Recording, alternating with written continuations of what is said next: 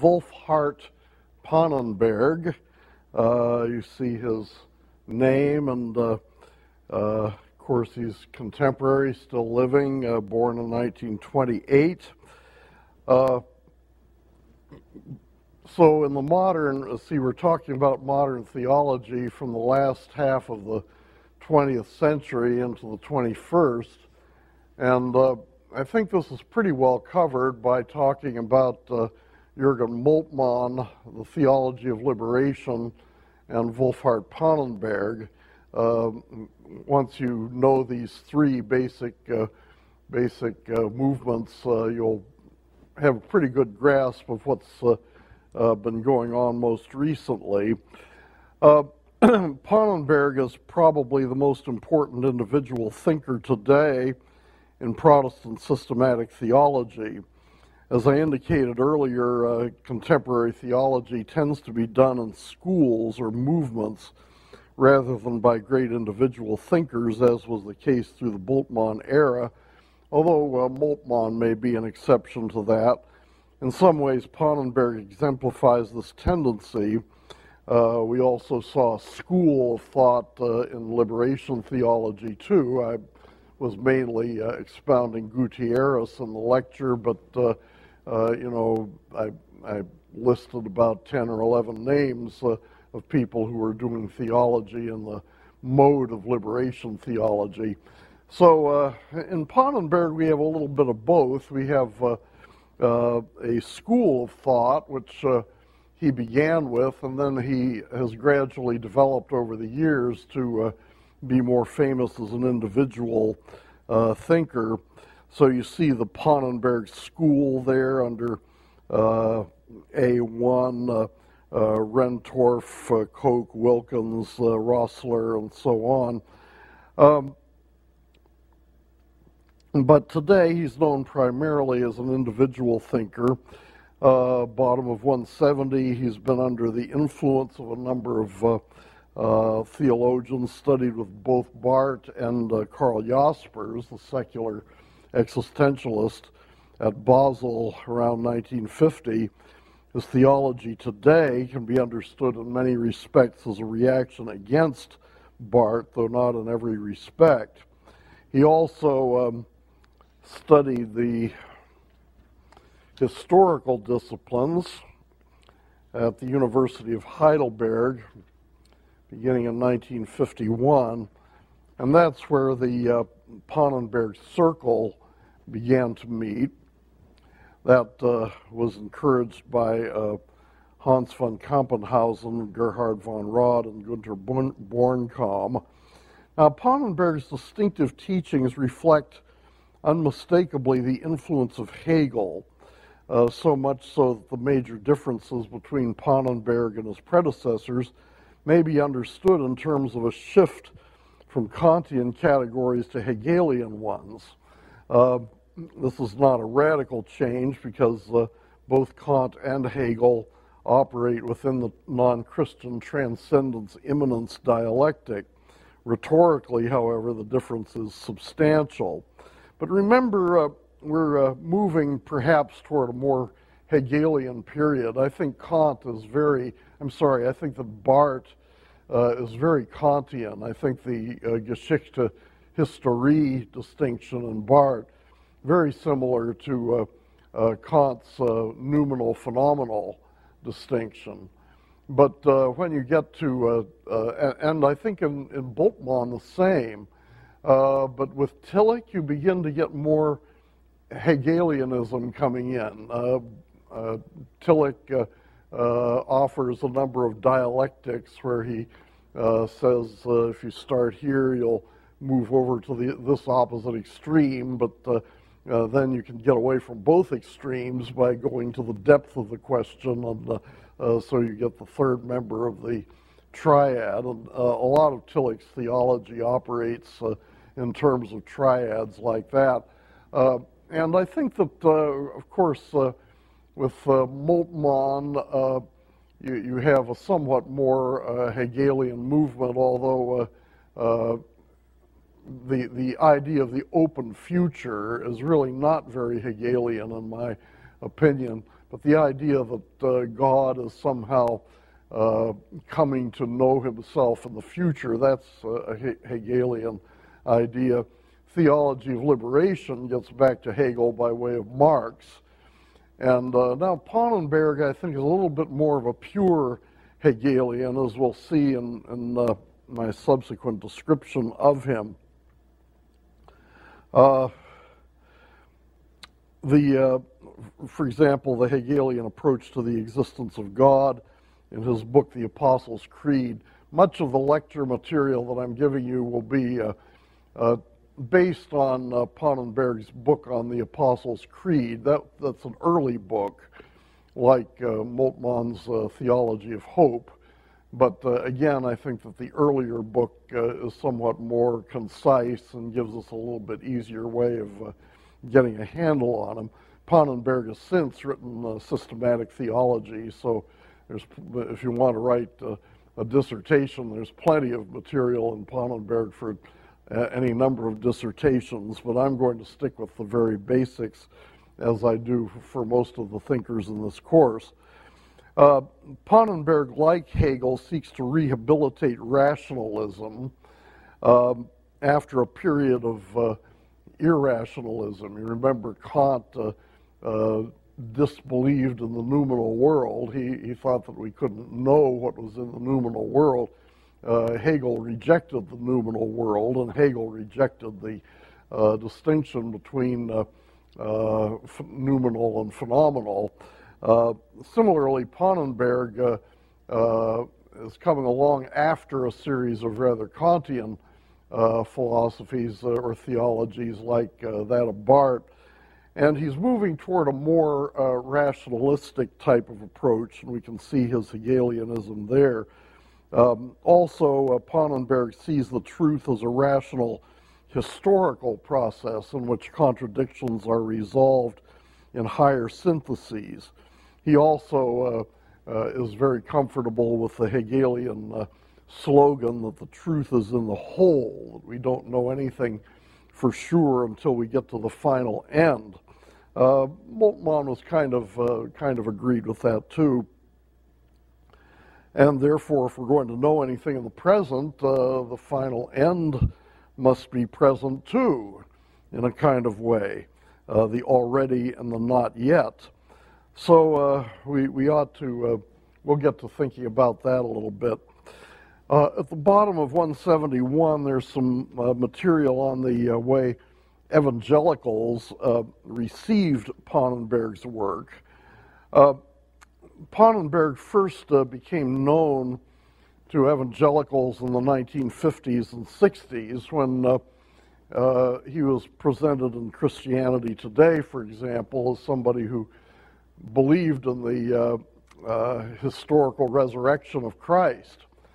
Now, uh, that was amazing to have that coming from Germany. we all uh, supposed that uh, anything uh, that nobody in Germany believed in the resurrection anymore. nobody in Germany believed in miraculous events.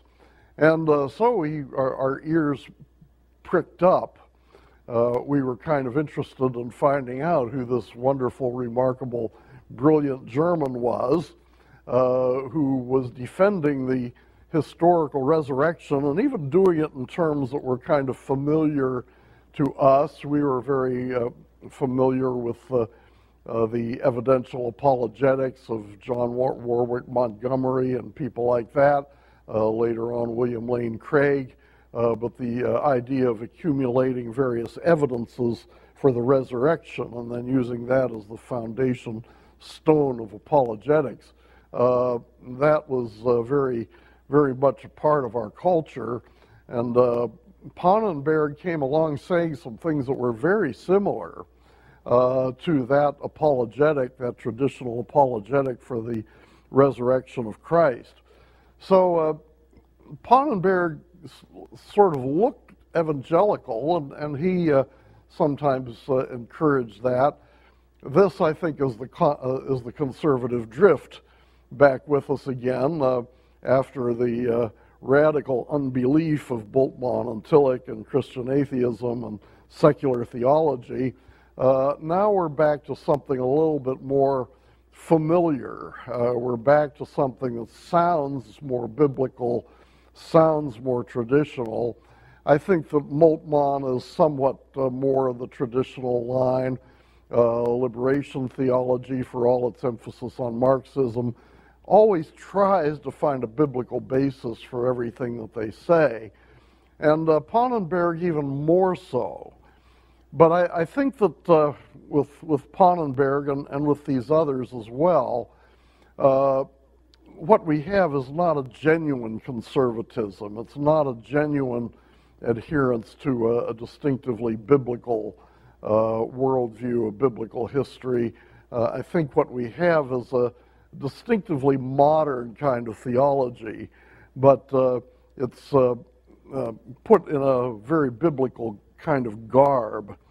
Well, uh, let's look at um, this next page. Under B, the relationship between faith and reason. Here we are. Faith uh, for Pannenberg is commitment. And again, I'm kind of expounding his little book on the Apostles' Creed. Uh, the validity of a faith commitment depends upon the reliability of its object, its truth. This is this is very uh, attractive to to evangelicals. Uh, this is what we say all the time. Uh, the validity of faith depends on its object. What are we uh, believing in? Trust, he says, is not theoretical cognizance but it does involve believing certain things to be true. Now, that's refreshing uh, after all the theologians who have told us uh, that faith is non propositional and faith doesn't tell us any truths, but just kind of puts us in touch with God or gives us a mystical relationship to God or gives us some kind of a, uh, an experience. Uh, Pannenberg is coming back to uh, uh, what is more uh, commonly said among traditional Orthodox Christians that faith does involve assent, assent to certain truths. Uh, it's not to be identified with assent. There's more to it than that. There's certainly the element of trust, for example, uh, commitment, as Pannenberg says. Uh, but there is this element of propositional truth. So faith depends on the support of historical, natural facts. Uh, on the basis of these, it commits itself to the rea- reality and truth of the invisible God. And of course, it rests on the truth of God's promises. There's the correlation with Moltmann, things hoped for in the future.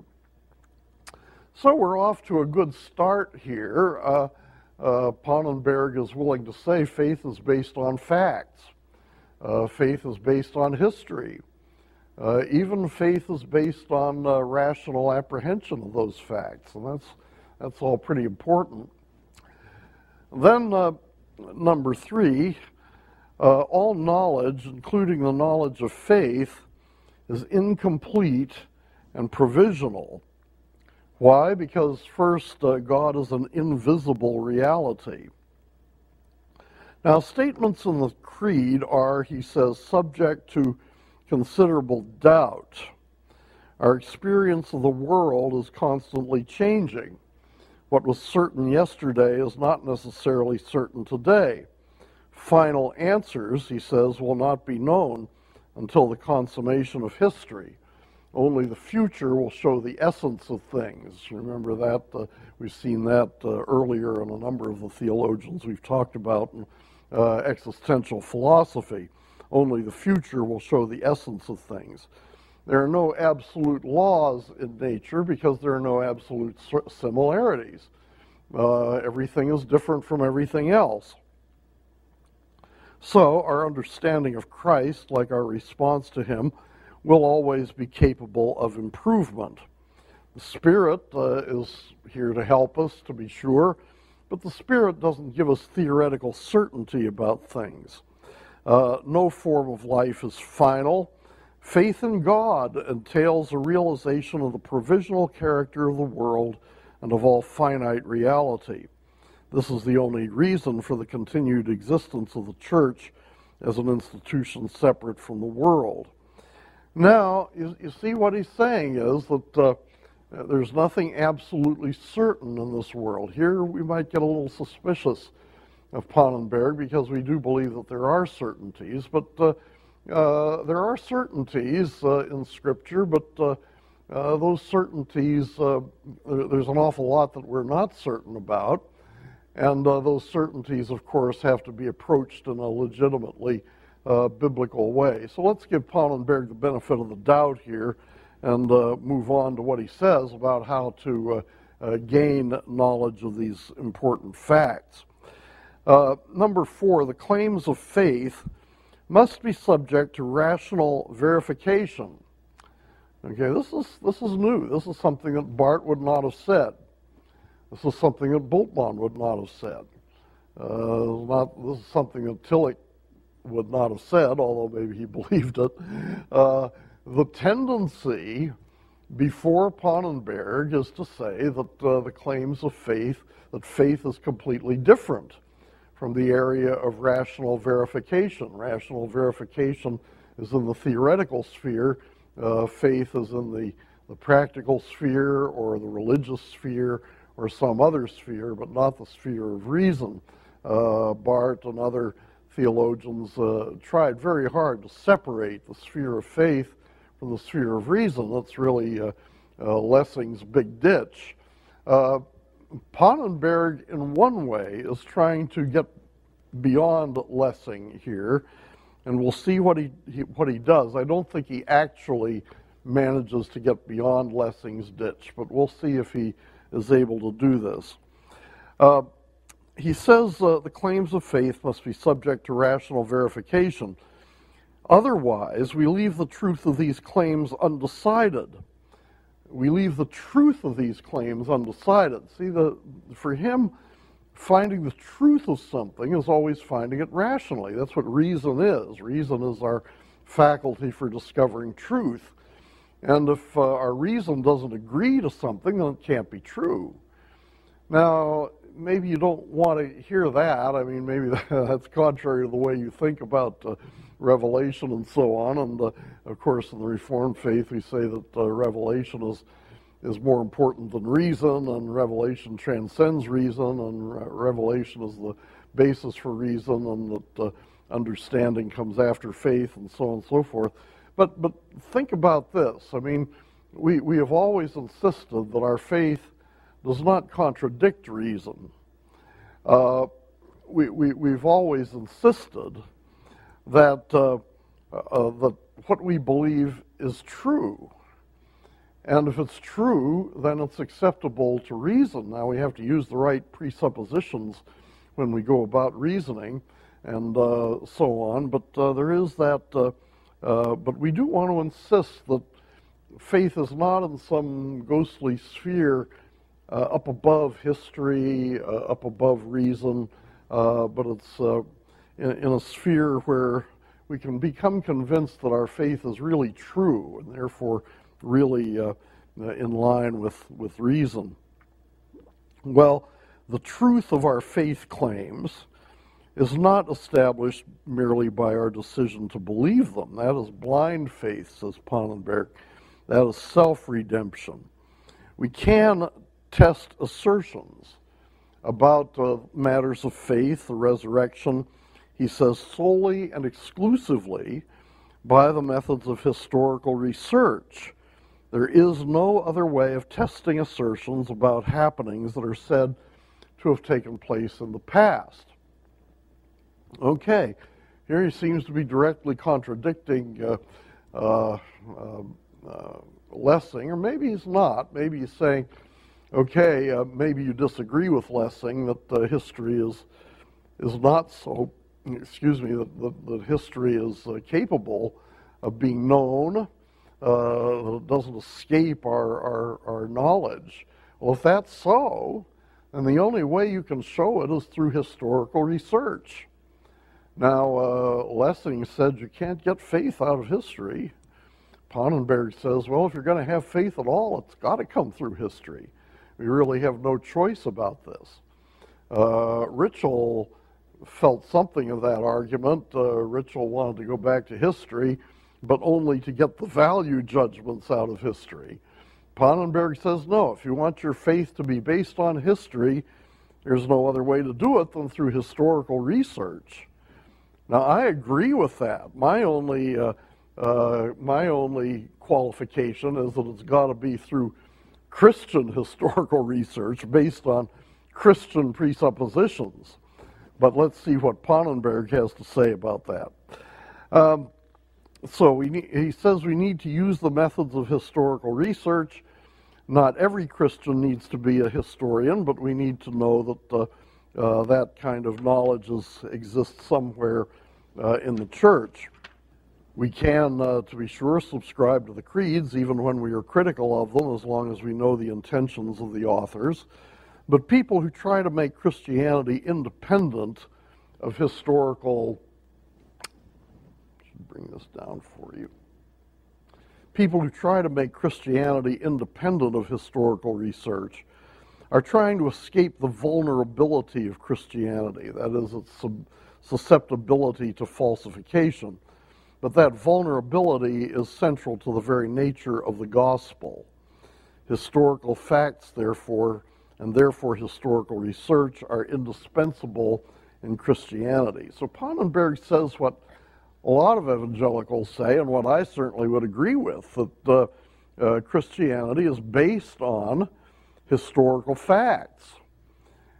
Uh, and uh, therefore, uh, they have to be ascertained by historical study. Now, what kind of historical study is uh, another question, but uh, we can't uh, defend Christianity by lifting it up above history because uh, that would turn Christianity into something other than what it is.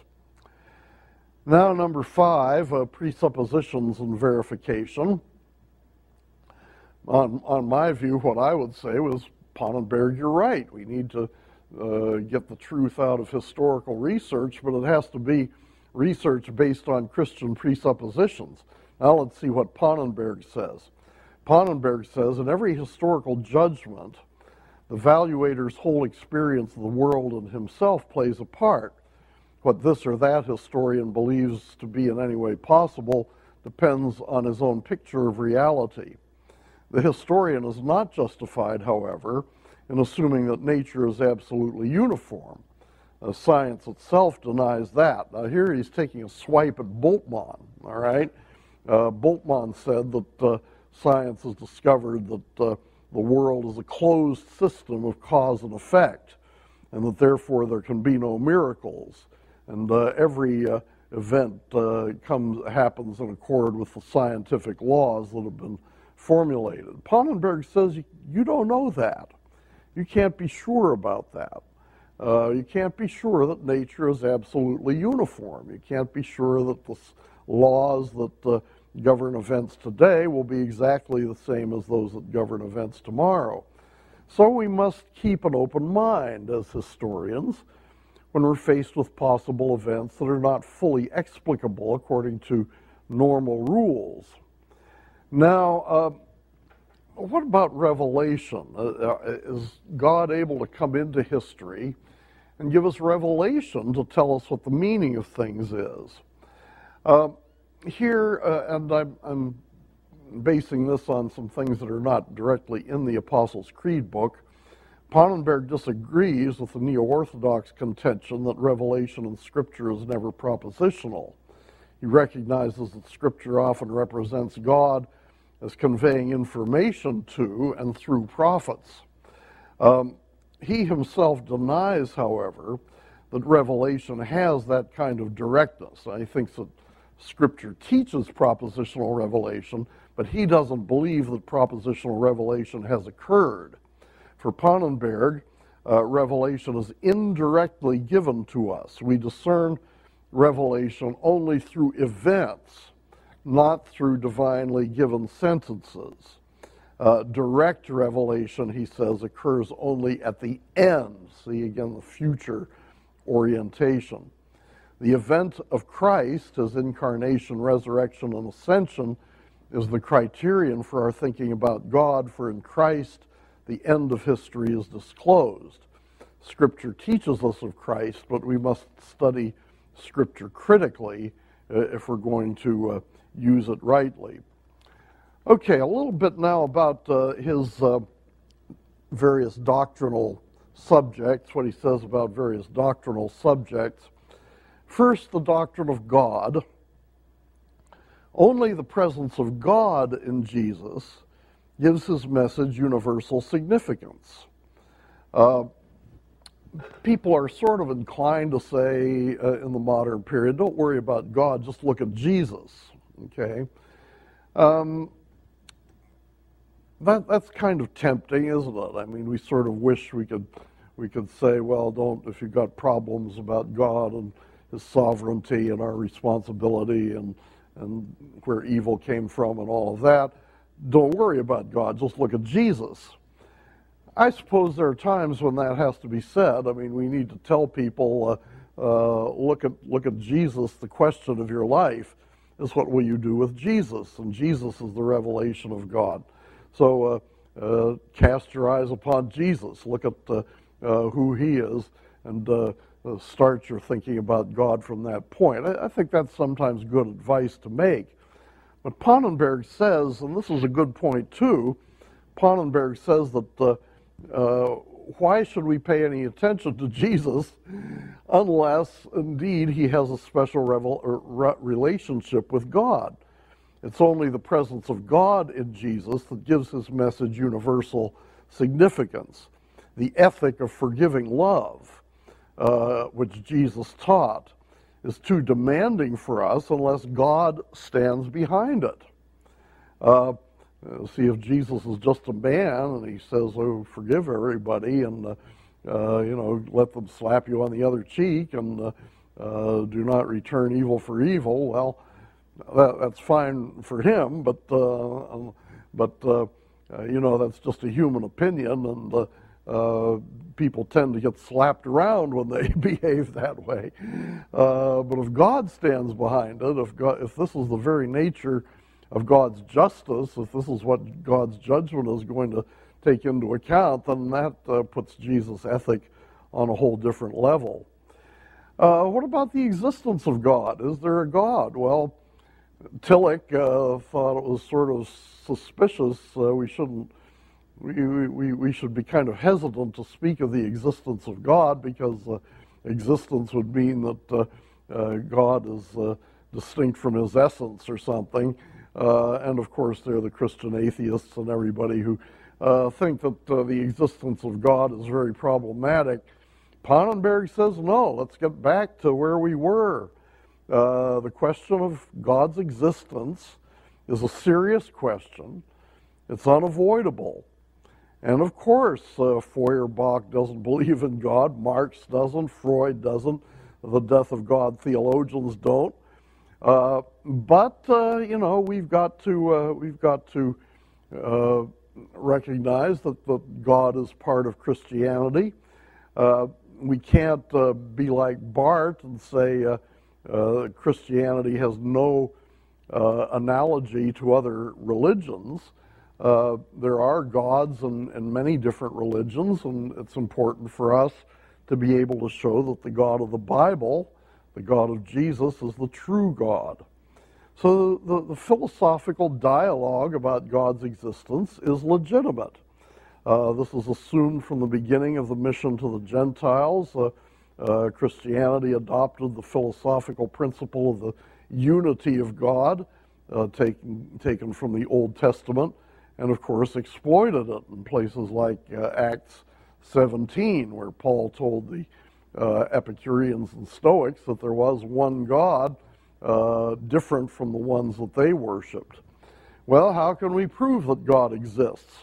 Uh, Pannenberg uh, says that the old causal arguments are not uh, cogent to modern people anymore because, uh, well, in Thomas Aquinas, you know, Thomas said that uh, we need a first cause because there can't be an infinite regress of causes.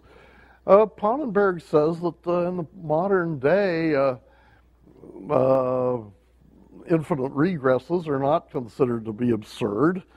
uh, self explanatory in inertia and various things like that are, are considered seriously. Uh, you might look at my paper called Infinite Regress in order to get some of that discussion.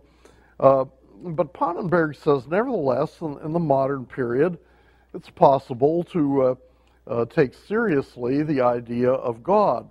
Consider your own limits. Uh, consider the fact that we are finite, that we are limited. Well, if we are finite, if we are limited, then there must be something beyond ourselves. There must be something that is unlimited. There must be something that's not finite. It might be empty space, but uh, there's something out there. Uh, now, uh, the uh, if, if, it's unlimited, then of course it bears some of the attributes of God. Uh, Pannenberg goes into this in more detail. Uh, he, he admits that uh, the argument is not a deductively certain conclusion, that each one must decide for himself uh, whether the concept of God illumines reality for him. But if that concept does uh, illumine reality for you, then you can't be like Kant and say it's only a regulative concept. You have to say this is, uh, uh, if this being uh, has any meaning at all, then uh, I, I, have to assume that he really exists uh, and believe in him. Well, he talks about the various attributes and predicates of God in Scripture. God is power, God is Father, God is person, God as future, interestingly, uh, kind of like Moltmann.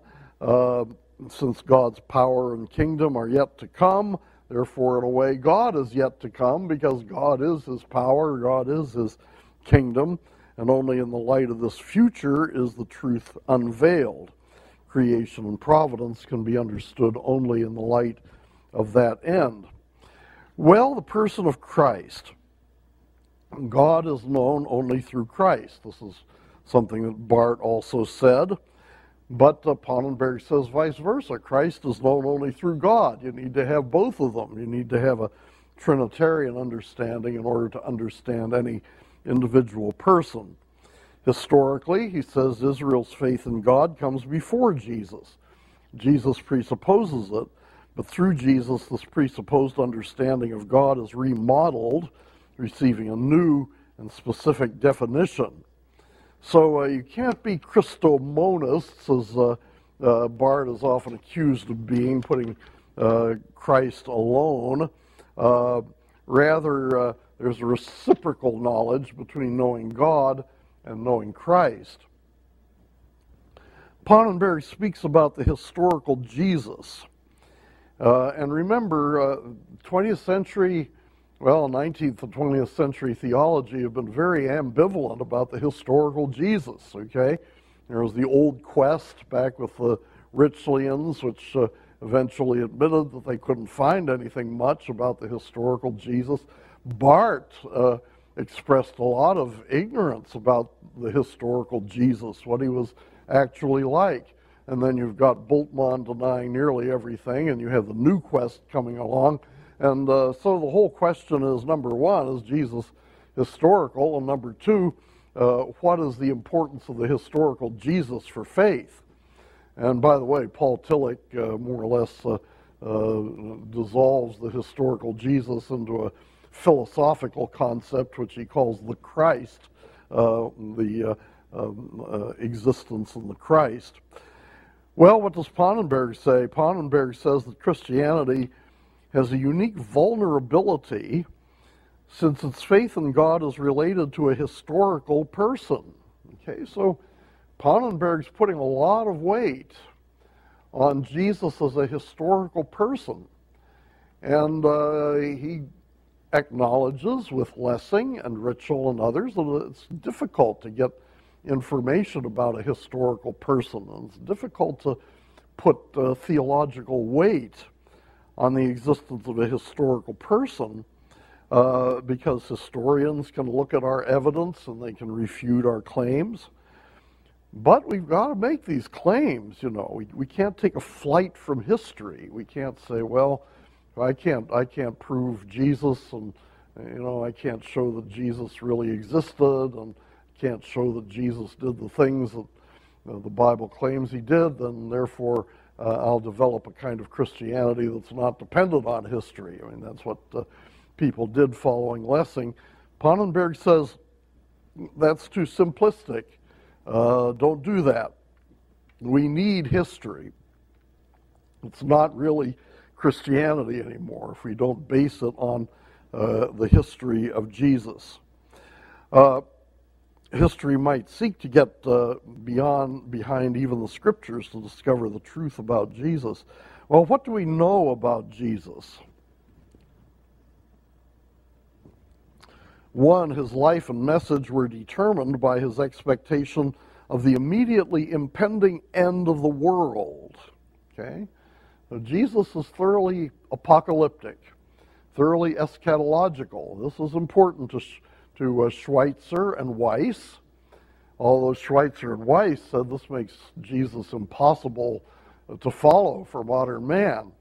Uh, how can we possibly follow an apocalyptic visionary who thought the world was about to end? Moltmann very cleverly takes this and uh, uh, says, Well, I agree that uh, Jesus was uh, an apocalyptic, and therefore, of course, he focused on the future, not on the past, and so we can develop a future based theology out of this.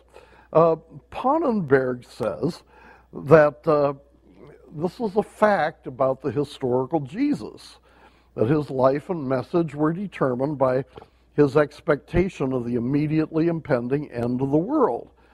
And he says this does cause offense to modern man. How can we base our faith on this? I mean, Lessing couldn't abide this idea he admits, Pannenberg admits, we cannot construct a biography of Jesus. There's a lot about him, about his life that we don't know, but we do know the basic facts. The baptism by John, uh, he thinks, is uh, historically unassailable.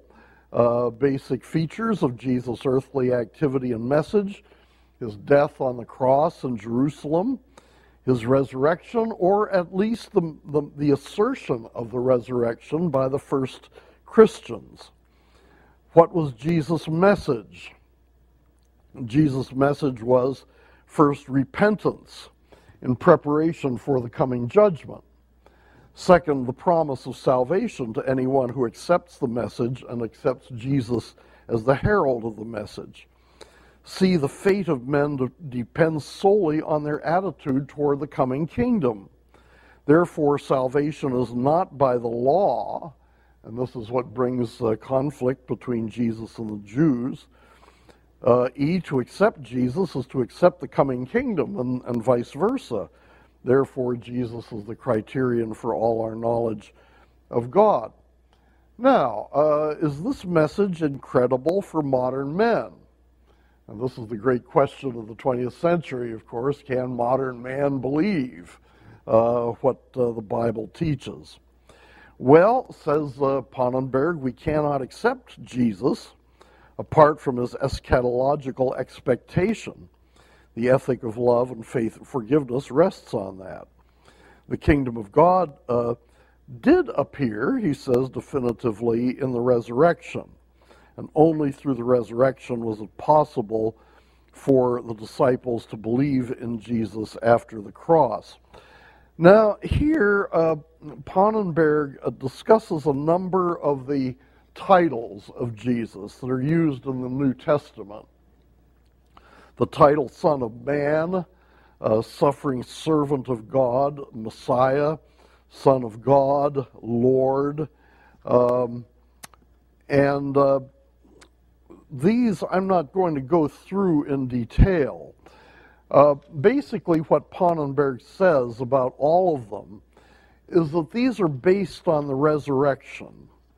Uh, when people call, and remember now, Pannenberg doesn't believe in the inerrancy of Scripture. Uh, he believes there are mistakes in the Bible, but uh, he tends to be more conservative on historical matters than, say, Bultmann was. So uh, here we are in uh, uh, page, uh, well, you see under uh, number three, Son of Man, Suffering Servant, Messiah. Son of God. They, they were willing to use those names, they were willing to use those titles of Jesus because of Jesus' resurrection. They didn't necessarily use those titles during his earthly life. They didn't call him Lord when they saw him uh, teaching in the Sermon on the Mount. They didn't necessarily call him the Son of God uh, when he fed the 5,000 or however many he fed. Pannenberg doesn't know. Uh, but uh, uh, after Jesus was raised from the dead, and remember, Pannenberg qualifies that uh, he was raised from the dead, or uh, they thought that he'd been raised from the dead. After that, they started calling him by these titles. And so when they wrote their Gospels and they wrote their accounts of what Jesus did, they called him Lord, they called him Son of Man, they called him by all these exalted names. And so the whole thing depends on the resurrection. If Jesus is raised from the dead, then all those titles are appropriate, including God if you want. Uh, uh, but if he's not raised from the dead, then of course those titles are not appropriate, and uh, the whole uh, Christian faith is a work of fiction. Well, let's. Uh, uh, so I want to go over to page 77. Now, the event, for example, section E, the event of Jesus' conception and birth. What about the virgin birth. Well, uh, Pannenberg points out that the virgin birth originally emphasized the humanity of Christ, that the Son of God came into the world by natural birth. But he says there are some problems in the narrative. Um, but uh, number three is very, very basic and very typical of Pannenberg. He says the story can be explained as a retrospective justification for Jesus' sonship. All right? Uh, so that's what it is. Not nec- didn't really happen necessarily. Uh, but it's the kind of story that people would make up after they were persuaded that Jesus was resurrected from the dead, and therefore after they were persuaded that he was the Son of God and the Lord and the Messiah and uh, all those other things. So the virgin birth is legendary, but uh, uh, it seems to be appropriate because of the other things that are said about Jesus uh, in the uh, in the Gospels. Now, all of this kind of focuses on uh, Jesus' sufferings, his death, and his resurrection, and I want to look at that a, little bit more closely. Pannenberg asks this What does it mean to say that Christ died for his people?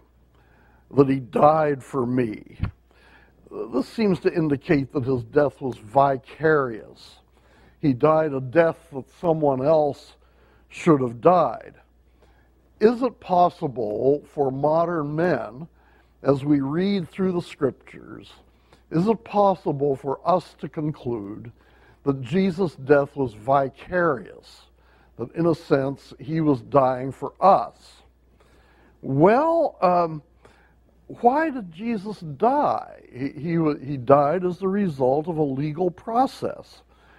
And he was charged, uh, there were two charges against him. Uh, one was the charge of blasphemy, which came from the Jews, and the other was the charge of sedition or rebelling against the government, which came from the Romans. Um, first, the charge of blasphemy. Jesus knew that his death was possible, though he didn't seek to pro- seek it, uh, nor did he prophesy it. Um, the Gospels say that he did prophesy it, but Pannenberg doesn't believe that. So, um, what what happened was that Jesus went to Jerusalem to force the Jews to make a decision about him. The Jews instead accused Jesus of blasphemy and falsely accused him to the Romans of sedition the resurrection, and we'll talk about that when we get to it, the resurrection shows that these charges were wrong. Further, it exposes the Jews themselves as blasphemers because uh, the Jews uh, uh, claimed that he had been a blasphemer, while in fact he was really God. He was really right to say that he was the Son of God. And because they disrespected him, then they were the blasphemers instead of him. So Jesus literally died the death that they deserved. In that sense, Jesus' death was vicarious. And since the Jews and Pilate were acting as office bearers, representative of the Jews, and Pilate representing the Gentiles, Pilate representing the rest of mankind, Jesus died for all. Jesus died for both Jews and Gentiles. You see, the Jewish leaders should have died, Pilate should have died, but instead, Jesus died in their place. And that's a vicarious atonement. Now, uh, you know, you might think, well, no, wait a minute here. I mean, that doesn't sound too persuasive. Uh, but, uh, uh I mean, usually when we, when we say Jesus' death was vicarious, we mean he died for me. Uh, I committed sins, and he paid the penalty for my sins, not just Pilate's sins, not just the sins of the Jewish leaders, but, but me. And how does Pannenberg uh, ever generalize his uh, concept of vicarious atonement to cover cover me? The best I can figure out is that he, he, he just kind of says that uh, the Jews represented all, all the Jews. You know, the Jewish leaders represented all the Jews because they were the officers, and Pilate was the uh, relevant officer among the Gentiles. I'm not sure that this is a very uh, persuasive account of uh, vicarious atonement, but uh, anyway, that's that's what uh, that's what Pannenberg sets before us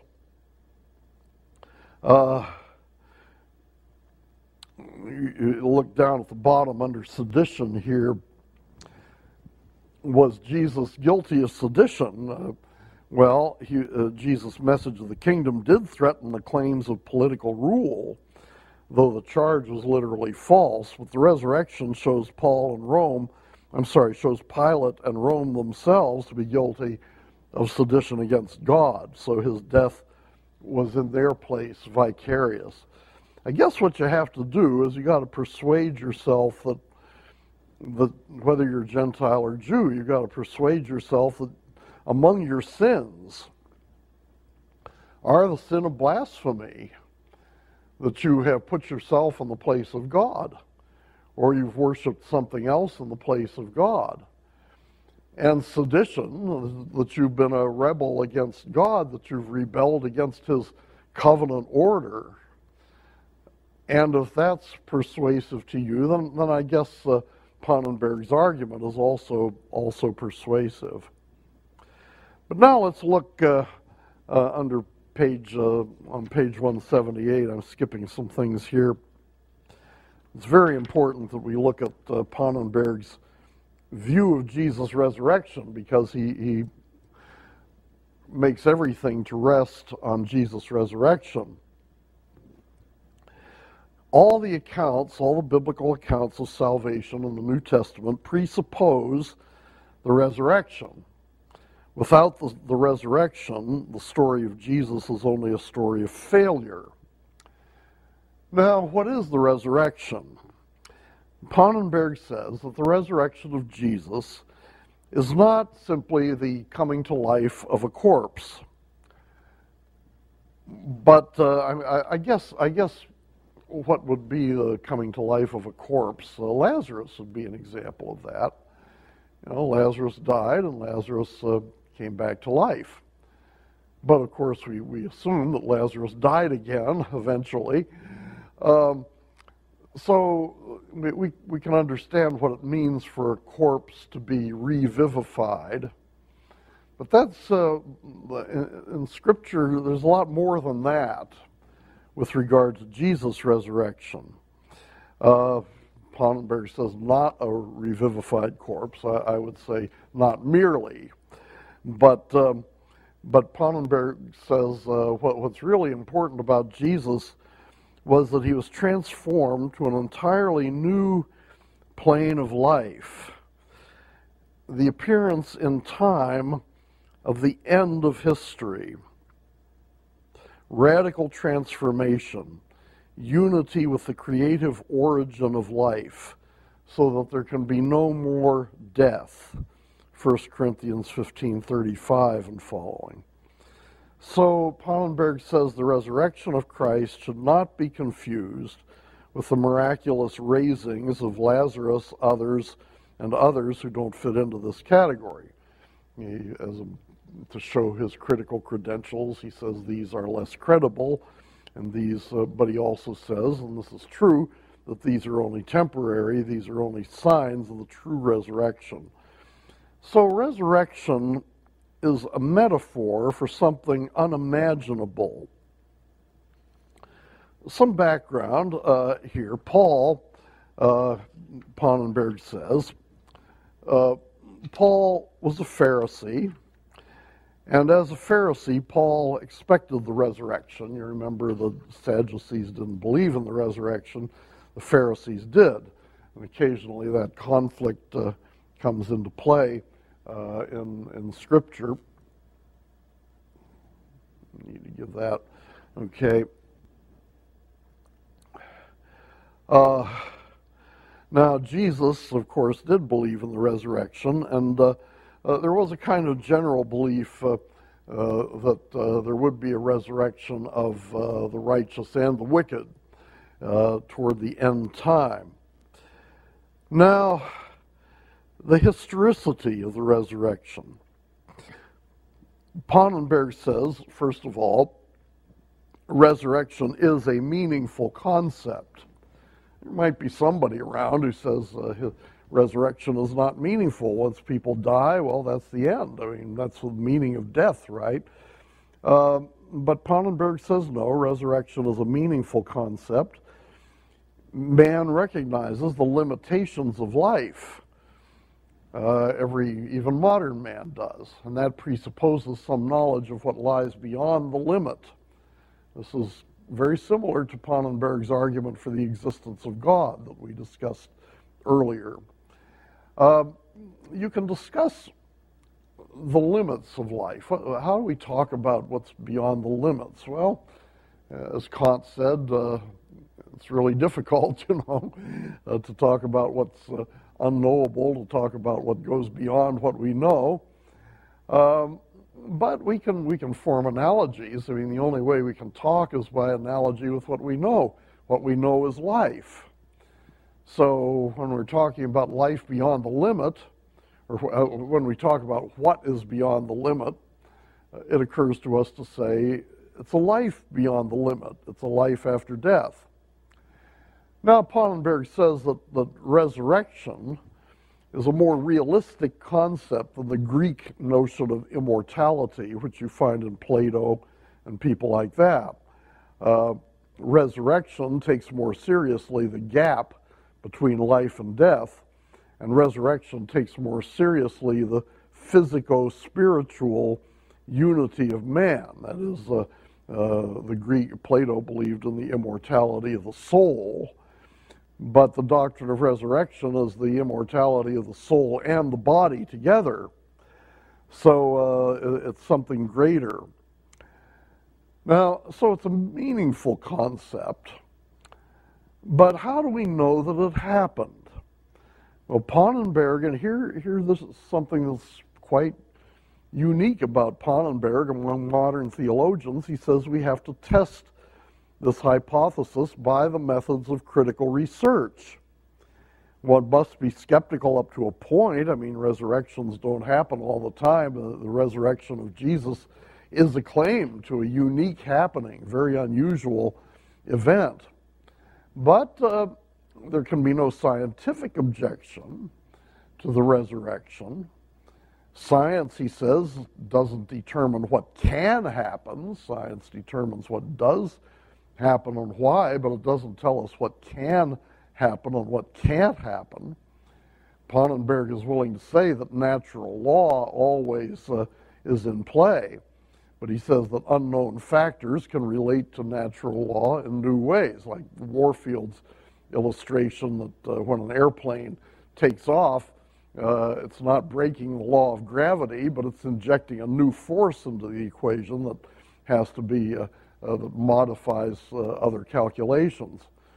And the resurrection, if true, comes from a sphere inaccessible otherwise to human experience, and therefore can be expressed only metaphorically.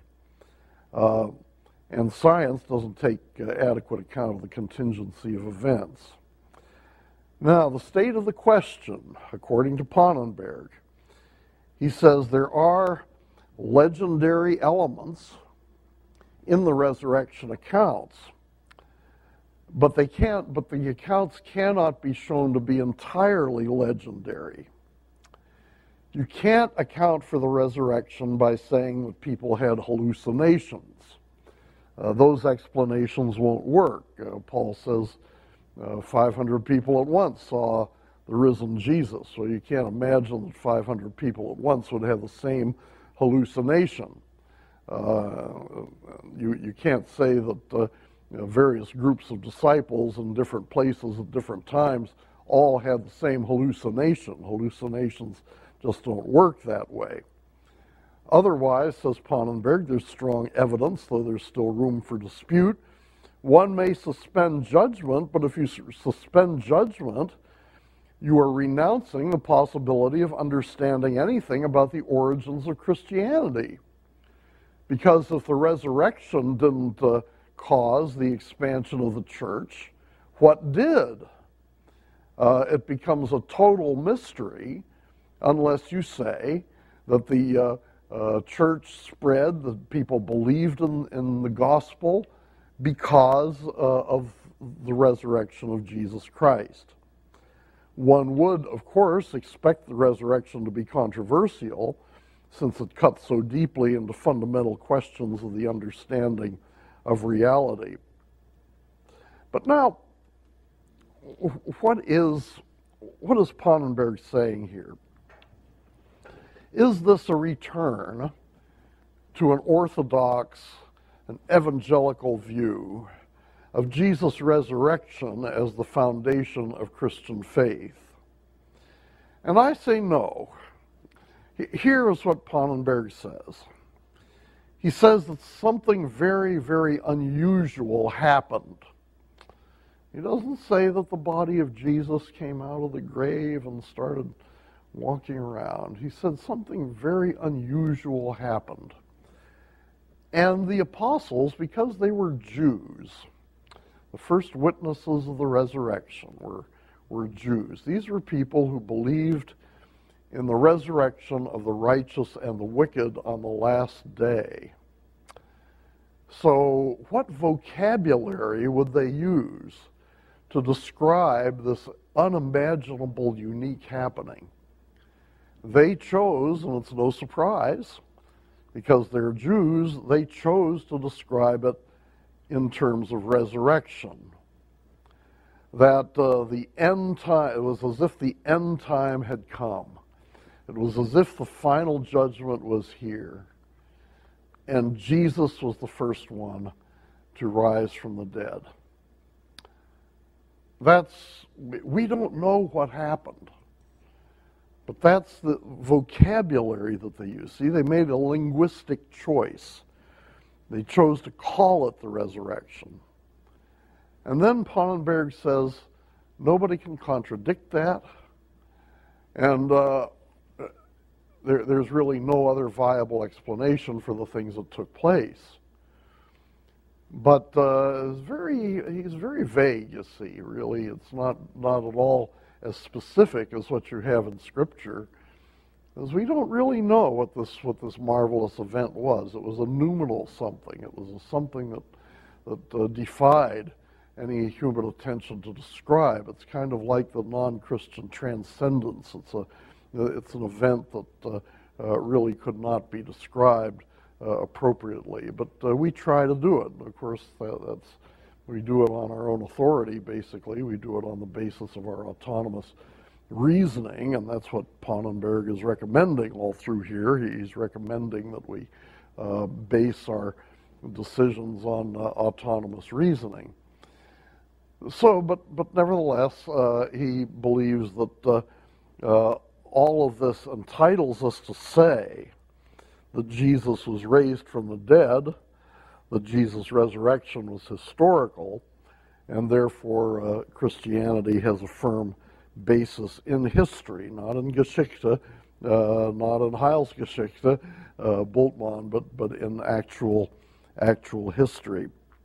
Um, but I, I do uh, suggest that you take a look at his book on the Apostles' Creed, and if you're interested, look, uh, take a look at his uh, systematic theology. And uh, he's very, very good in a way. I mean, he, he's a clever fellow. Uh, that's what Rudolf Bultmann said about Pannenberg.